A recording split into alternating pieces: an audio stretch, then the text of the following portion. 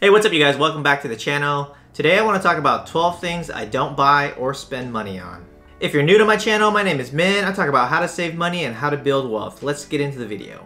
So this video is about all the things that I don't spend money on, and this is how I can save a lot of my income. Even though I made six figures and I owned a rental property, it didn't mean that I was gonna go and spend it on dumb things. Now I'm always trying to save money and lower my expenses because I know one day I'm gonna retire and I don't wanna have a lot of expenses. That just means that I have to have more money saved or make more money now so that way I can retire early. So let's talk about the first thing I don't spend money on and that is beer and cigarettes. Now I don't smoke and I probably never will. It's bad for you and it costs a lot of money. That alone will deter me from actually ever buying cigarettes.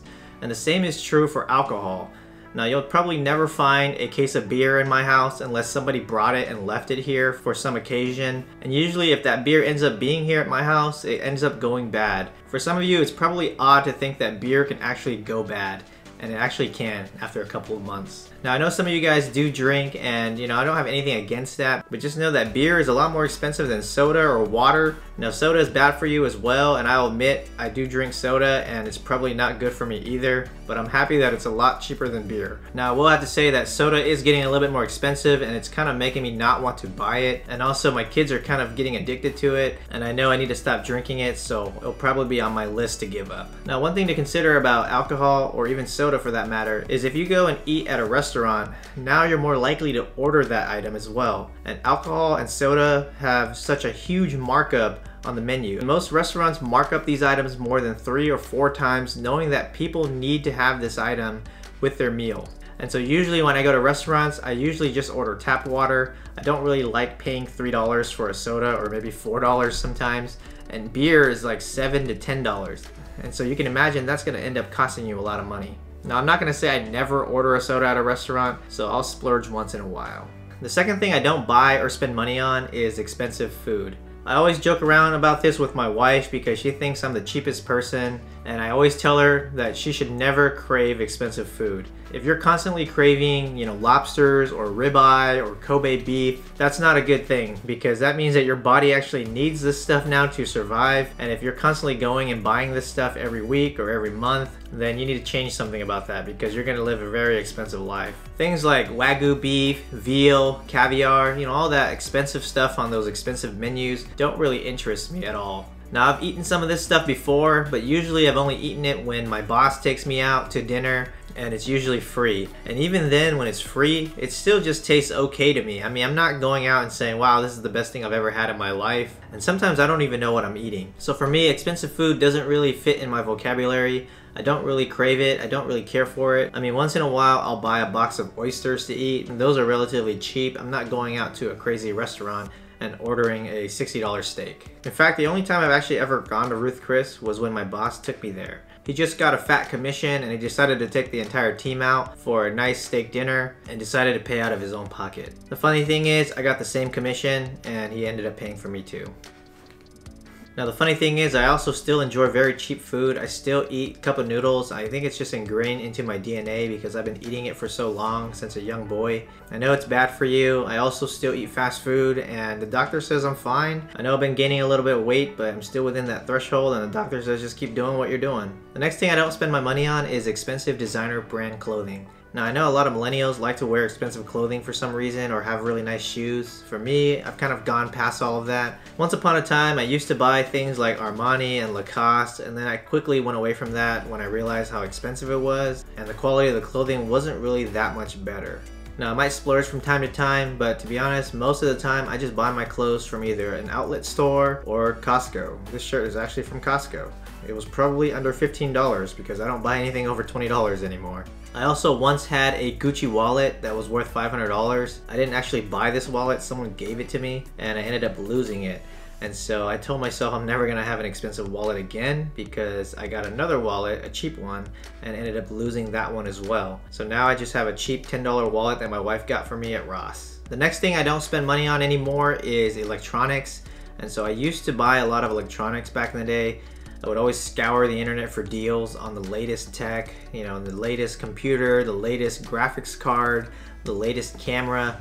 And a lot of that stuff really just ended up being a waste of money because I ended up never even using any of it. And so I stopped doing that and I stopped buying things. I started just using the old stuff that I already had. The only expensive electronic I have today is probably this camera that I'm using to shoot this video. The computer I use to edit these videos is about five years old and still works just fine. I found out really quickly that things get outdated so fast and they start to lose their value. And if you just wait maybe a year, that high-end graphics card or that high-end camera that you wanted is going to be a lot cheaper. Or even better, a newer camera will come out and you can just buy someone's secondhand camera for dirt cheap.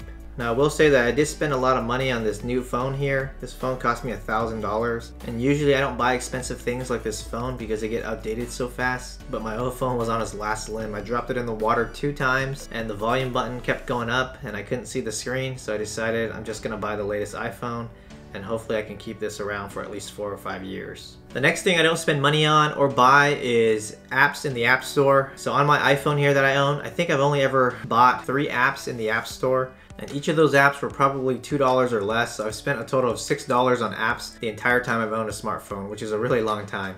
I noticed that people who have a lot of apps end up not even using any of those apps because they don't really know what to do with them. I don't really buy games on my phone either. I know a lot of people have games on their phone and they end up just buying it one time and don't even play it ever again. And so to me, it's just a big fat waste of money. And these app developers know that as long as they can get two or three dollars from you and multiply that by millions of users, they're gonna be millionaires overnight. And so they make these apps really cheap and affordable so that anybody can afford it. Now you're not going to save a whole bunch of money by not buying apps because they're only a couple dollars, but just having that mindset means that you're not going to buy apps moving forward. And so some people buy apps all the time thinking, oh, it's just a couple dollars, just a couple dollars. If you actually go and look at your bills, they're probably going to add up to a couple hundred dollars a year. And if you have apps that have monthly subscriptions, those are the worst ones because most likely you're paying them and you don't even know it and you're not even using the app. Now related to apps, I also do not use any of those apps that deliver food. One time I used it in a pinch to order something from Popeyes and my bill ended up being double what I normally pay for that same meal. And so I decided never again will I ever order food off those apps. I know it saves a lot of money and it saves gas, you know, supposedly, but for me, that is just such a huge markup that I'd rather just eat something else, like a 20 cent cup of noodles. If you're using apps like DoorDash and Grubhub a lot, you might want to take a look at that. You might actually realize you're spending double what you normally would spend if you were to just drive there and buy it. The next thing I don't spend money on relating to the phone is music. So music for me has always been free on YouTube. I don't really understand why people would buy music and put it in their iTunes library. I guess if they're listening to the radio and they want Bluetooth connection, I guess that makes sense. But for me, if I want to hear a song, I'll just load it up on YouTube and just play it from there. I don't have YouTube Red. I did have a trial at one point and that was kind of nice because you can close the app and it will still play in the background. But for me, even that is not worth the cost. Music can cost anywhere from $2 to $5 a song in the music library. And now I hear there's Apple Music, which is a subscription and I highly do not suggest you get a subscription because like I mentioned earlier, you're just gonna forget about it and you may not even use it. The next thing I don't spend money on is Amazon Prime. And so Amazon Prime I've used for a long time back when I was a student and also a little bit after when I was working. And I would pay the annual amount. It was about $80 a year back then. Now it's like $100 a year. And to me, that's just not worth it. Now, if you're buying a lot of stuff, it may be worth it to you. If you have children and you can't go to the store a lot, it may be worth it to you. For me, I kind of like going to the store once in a while. It lets me get out of the house. Now back then Amazon was actually a little bit cheaper than most stores and so you would be able to find really good deals compared to what you would get in store. And so it made a lot of sense to buy things online, save the time and effort and gas from having to drive in the store. But nowadays I find that most of the prices are pretty much the same and you end up just paying for the fast shipping. And so if you're ordering a lot of things, Amazon Prime may be worth it, but for me I found that I don't really order things on Amazon anymore. I try not to buy things on there as much because if you ever go and look at how much money you've spent on Amazon, you'll see that you probably spent a whole lot of money there. And a lot of that stuff just ends up being a bunch of junk you don't even need. And like I mentioned earlier, Amazon isn't the cheapest place to buy things anymore like it used to be. If you actually go and look on eBay or even in store, you'll see that the prices are actually cheaper. I find that 9 times out of 10, that same item I want to buy on Amazon is actually cheaper on eBay, and eBay also offers free shipping. And I know eBay shipping is not Amazon Prime shipping, but I'll let you in on a little secret. A lot of those eBay sellers are now using Amazon to fulfill the order. And so even though you bought it on eBay, Amazon is actually delivering the product to you. And so you end up just getting it in two days anyways. And even if you order on Amazon, sometimes they offer free shipping on certain items. Even if you don't have Prime, sometimes it ends up coming in two days. And so in reality, you don't really need Amazon Prime. I don't really think Amazon has figured out how to separate the Prime orders from the regular orders. And so for people like me who don't want to pay for Amazon Prime, we end up getting our items in the same amount of time. So save yourself some money, cancel your Amazon Prime, try eBay, and I promise you the items you're buying on eBay is probably the exact same item on Amazon. The next thing I don't spend money on is things like haircuts. And so if you've seen some of my other videos, you'll know that my wife cuts my hair for free she does it right back there in the bathroom. That saves me about $14 for every haircut. I have to get my haircut every two to three weeks, and so let's just call it 17 times a year. I also have three boys that have really fast growing hair like me as well, and so you can see it adds up to quite a bit of money. So my wife has picked up this skill and we can get our haircuts for free at home. It also saves me a lot of time from driving to the barbershop and waiting there for an hour to get my haircut. And imagine hauling three kids there as well. It's just a nightmare. So as long as I like this haircut and it remains in style for me, we never have to pay for haircuts again.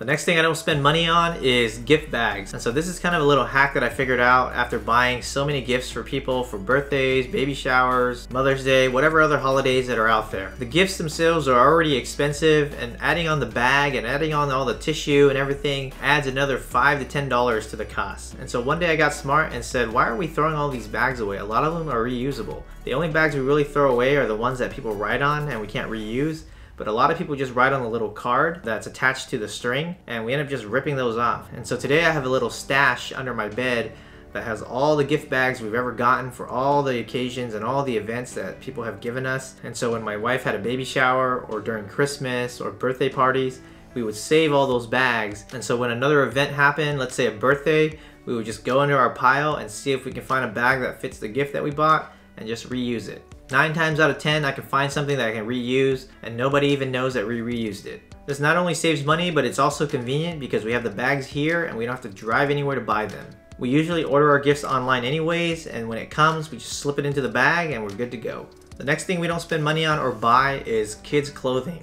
And so I have three sons, five, three, and one. Unfortunately for us, my wife is a middle child and a lot of her sisters already had children and we were able to get a lot of free clothing for our kids. I would say 99% of the clothing that we have for our three boys were hand-me-downs from their older cousins. From time to time we'll buy some clothing for them because we need it, but most of the times we are just reusing what was given to us. Now if you have any kids, you'll know that kids grow out of their clothing really fast and so it's a really big waste of money to buy clothing for only six months. Now we were concerned that some of our kids will have the same clothing as their cousins in some of our family photos, but we quickly got over that because everybody shops at Target anyways, and so some of the clothing is going to be the same anyways. And also we were going to save so much money by not having to buy clothes that we ended up not caring. Now if you don't have siblings or family that can give you free clothing, there is another way you can download an app called Nextdoor. This is kind of like the Facebook for your neighborhood, and you can check and see if your neighbors have any free clothing that they want to give away. On Nextdoor, you'll find that there are other families that have children that are already grown up, and they just have a ton of baby clothes or a ton of toddler clothes that are in a bag,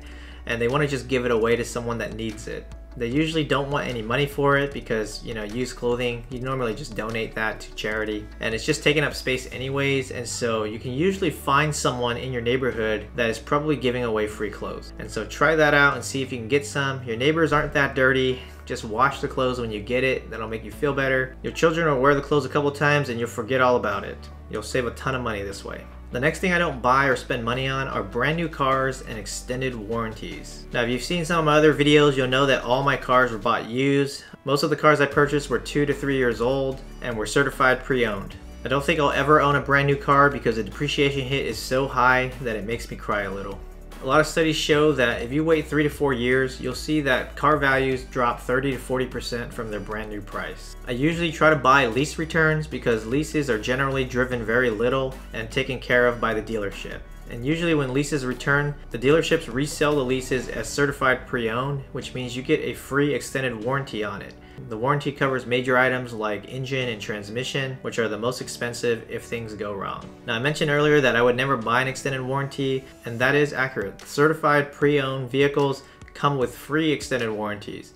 And so this is kind of their way of trying to sell a used car with new car like warranty And so they'll extend your warranty up to 100,000 miles or something like that. It really depends on the dealership. But for my Prius and my Acura, both of them came with an 8-year, 100,000 mile warranty on the engine and transmission. But even if they didn't come with a warranty, I don't think I would ever buy an extended warranty. Those extended warranty packages are usually three to four thousand dollars, and to me, that's just not worth the money because even the most expensive repair is probably going to cost you about that much. And so you're better off just saving the money and gambling a little bit and maybe buying a car that's more reliable that doesn't need it. So if it's not free, don't bother asking. Alright guys, we're on to number 12. This is the last thing I don't spend money on and this is probably the one that saves the most amount of money. So thank you for getting to the end of the video. This one I promise you is going to save you a lot of money if you actually do this. So the last thing I don't spend money on is high cost labor. I call it this because it's exactly what it is. It's high cost labor. If you ever had to call a plumber or an electrician or a mechanic, you'll know that they charge you $100 an hour or anywhere from 80 to $120 an hour just to fix whatever you need fixing. Now, if you make this much money at work, then it's probably not that big of a deal because you're just exchanging your time for theirs.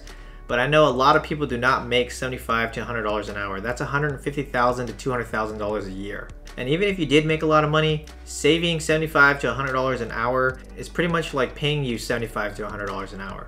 Now you might have to give up a few weekends or a few evenings to get this money, but in my opinion, it is definitely worth it. Now I know not everybody has free time or even the skills to do some of the things that I mentioned earlier, but trust me guys, there is so much information out there today on YouTube. Now fortunately because of that, you actually don't need these people as often as you would in the past. And you can also learn a lot of the skills that they have right here on YouTube. It's actually a really great tool and that's why YouTube is so popular. And so for me, ever since I've bought cars and owned a home, I decided that I need to learn some things about these things.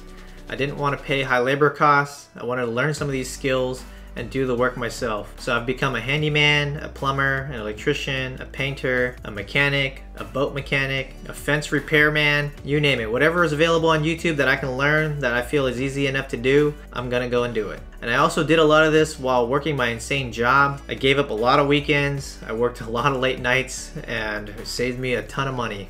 Now I won't do all of these jobs all of the time. There are certain jobs that I will leave to the professionals. I'm not going to cut a big old tree down, for example. That's just dangerous for everybody. I don't have the proper tools. I'm not going to go install a new air conditioner unit on my roof. I mean, I don't have one on my roof, but let's say I did. And I'm not going to dig a new main line, you know, to the street. I'll save that for the plumber. So those are the kinds of things I can justify paying $100 an hour for. But I will never pay a plumber to install a new faucet for $125. I can do that myself.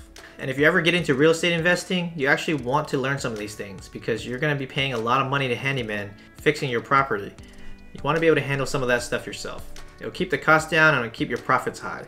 I've literally saved tens of thousands of dollars by learning this stuff and doing it myself. My friends actually call me Handy Min, and I consider myself a YouTube certified handyman. Just kidding. You know what else is nice about knowing all of these things and being able to do it for yourself? Well, it saves a lot of time, for one. But once you learn the skill, you'll never have to pay this high labor cost again. You'll have that skill forever. That means that your cost of home ownership is going to be lower, or your cost of car ownership is going to be lower, or whatever skill you decide to learn, and it'll also make retiring easier as well. At least that's my plan. It also will help you not get ripped off by dishonest people as well. You'll know exactly what it needs to get done, and that person giving you that quote can't lie to you. Well guys, thank you for watching the entire video. There you have it, all of the 12 things I don't spend money on. I'm sure I have a lot more, I just had to pick 12 because the video is getting pretty long. You can see some of these save some serious money, some of these save a little bit of money, but at the end of the day, if you do this for 10 plus years, it's gonna add up to quite a bit. It also keeps your living expenses down, which means you don't have to make as much money as the next guy, and also it will make retiring a little bit easier for you down the road. I hope you found some of these things helpful. If you did, don't forget to hit the like button down below. It really helps my channel out a lot. If you like saving money or building wealth, consider subscribing to my channel. I post a new video every week, and let me know down in the comments below what you don't spend money on. I'm still considering a lot of things in my budget, so happy to hear from you guys on what you guys aren't spending money on. Well guys, hopefully you enjoyed the video. Have a nice day.